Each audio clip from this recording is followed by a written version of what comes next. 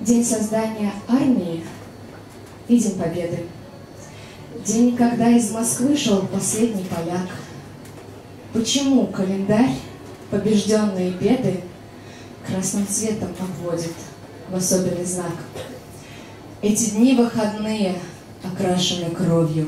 В эти дни от труда отдыхает страна, а мое существо наполняется болью, потому что уж очень большая цена – я люблю свою родину, словно святыню.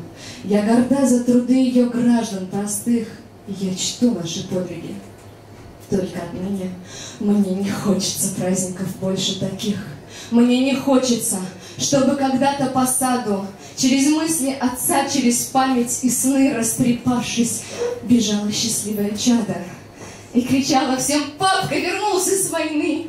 Не хочу, чтобы славились подвиги в прессе. Государство гордилось заслугой отцов и на мертвую грудь им медали повесив. У детей отбирала любимых отцов. Не хочу, чтоб боялись грозы на рассвете от затишья, считая счастливые дни. Не хочу, чтобы ценность еды знали дети, потому лишь, что не доедали они. Мне обидно, что прадед на стеле победы, на седьмую фамилию Юдин он вбит, в книгу памяти вписан. А в год сорок первый рядовым за отчизну родную убит. Почему? Почему вызывает в нас радость окончание глупой, ненужной вражды? Почему в человеке заложена слабость?